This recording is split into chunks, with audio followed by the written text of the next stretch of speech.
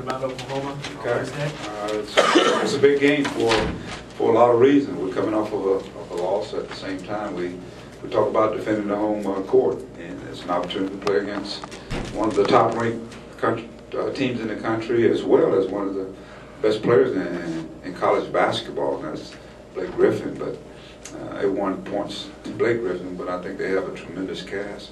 Willie Warren, obviously probably one of the top freshmen in the country. And then you have a guy like Austin Johnson, who I think is like the quiet assassin. I mean, he's he's quietly had a very, very good year. I think he's been instrumental in what they're doing. Uh, then you have Tony Crocker, who's capable of scoring some big numbers for them. Uh, so with that team, I mean, you, you're keying on Blake. They have some other options, especially with Warren coming in. And then, of course, I think the guy that uh, I know is a blue guy is, is a guy like Taylor Griffin. Uh, he don't get mentioned a whole lot, but uh, I think he did a pretty good job of kind of holding things together while Blake was out. And so I think even with the absence of Blake, I think it has helped their team uh, become more of a team. And so that makes them even dangerous uh, going down the stretch. So we, we've got a, the ultimate challenge, you know, playing uh, uh, against Kansas in a, in a hostile environment. Of course, now we get a chance to play against one of the top teams in the country, in Oklahoma.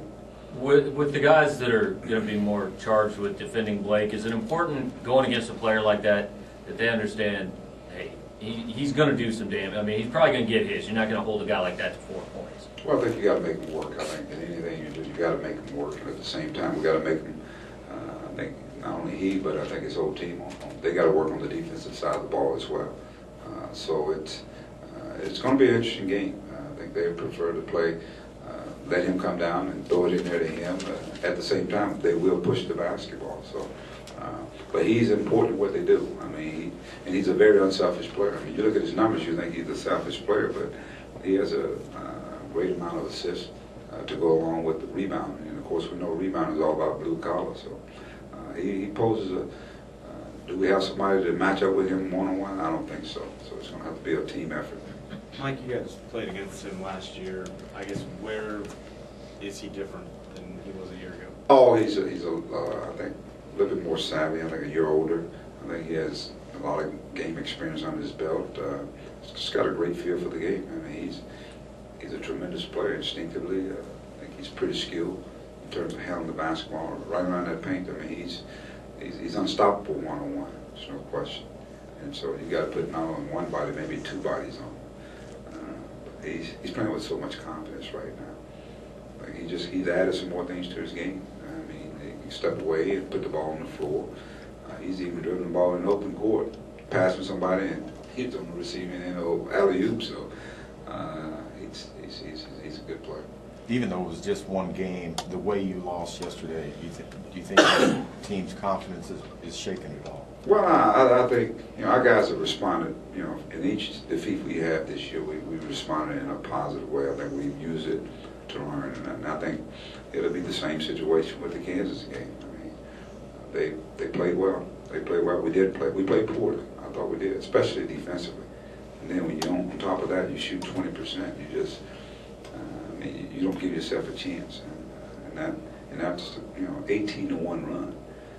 That's normally what we do to people, have an 18 to one run, and we had that taking place, and uh, and just could not cut in a deficit. It was it was an uphill battle all game long, but you know our game, our, our guys, you know, it's it's a one game approach, and you win, you enjoy the midnight, you lose, hey, it hurts, and it probably hurt a little bit longer because of who it was, but uh, but you got another game. That's the thing about it is the game continues to come, and we've got two games in in this conference season, and uh, and each one of them is very very important. There's a lot out there, and so it's very very important for our guys to get back in the gym and get prepared for uh, an Oklahoma team. We got some seniors, uh, four seniors, and uh, of course it'll be their last game here uh, in Mizzou Arena. So uh, you want a special night to take place, uh, but it's an ultimate challenge when you're playing against one of the top teams in the country. Mr. D, you mentioned that, uh, that shooting percentage. W- Were your guys doing some things just overall on offense, especially in that first half you were concerned with? Or was it just, you know, we're doing what we're supposed to and the shots just aren't falling? Well, we missed some shots, I think, early on. We missed some shots that were normal, you know, some layups, and or you get the game going back and forth. Uh, obviously, that took place, and then I thought we got kind of tentative. And you know, it's with our team, you know, we can't just predicate our game on offense. But needless to say, not scoring, you didn't, you weren't able to get into your defense. And I thought Kansas did a good job of attacking us. I thought transition defense uh, was probably something we did real, real poor. And, uh, and they did well. They attacked us and uh, they made us pay for it.